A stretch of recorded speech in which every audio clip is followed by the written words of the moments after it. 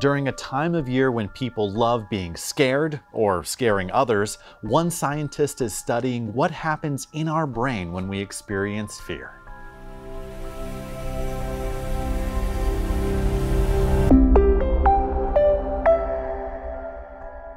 Welcome to Mount Sinai Spotlight's Halloween edition. Fear is a feeling triggered by danger, whether real or imagined. So why do our fear memories feel stronger than positive ones? One neuroscientist is trying to map fear memories with the goal of understanding why they cause so much anxiety. The hope is that this will one day lead to better treatments. Why is it that scary memories often feel stronger than positive ones?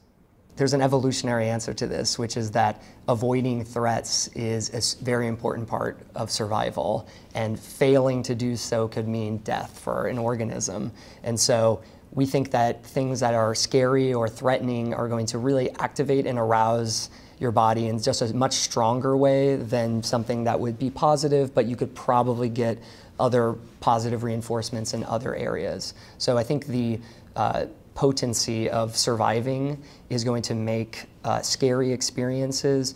It's going to make the memories of them very durable and we have a lot more to, to learn about how those are represented in the brain but we're starting to get access to that.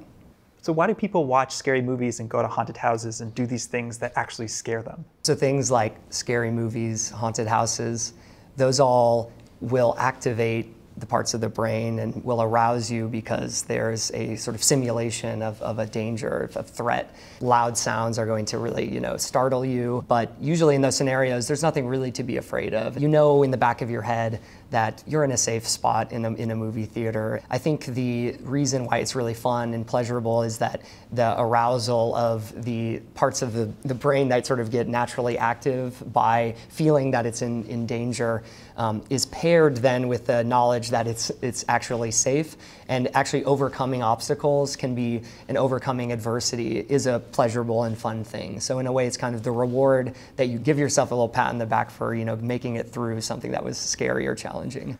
So where's the science at right now, and what can someone who struggles from fearful memories maybe hope for in the future in terms of therapies? In terms of treatments, one of the most uh, effective and popular one is known as exposure therapy, um, which is where someone would go into a clinic and be exposed to the thing that they are afraid of uh, in a safe environment, and hopefully over time would develop a safe memory for that. Um, now, the problem is that this type of treatment is not that effective in the long term, and we think that exposure therapy training doesn't make as strong of a memory as the, the actual fearful experiences. It, it's not laid down or imprinted in the brain as deeply. I think that the future of treatments is going to be trying to identify brain regions that are going to be activated when a person is actually in the lab setting suppressing their fear and figuring out what about that is different than when they're actually expressing their original fear memory.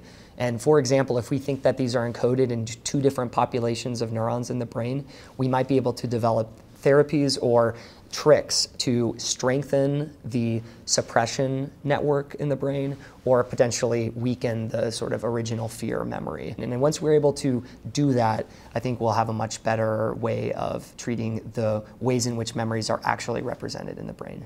Thank you so much for being with us. Thanks, and happy Halloween. A special thanks to John Earl for that report, and thank you for watching Mount Sinai Spotlight.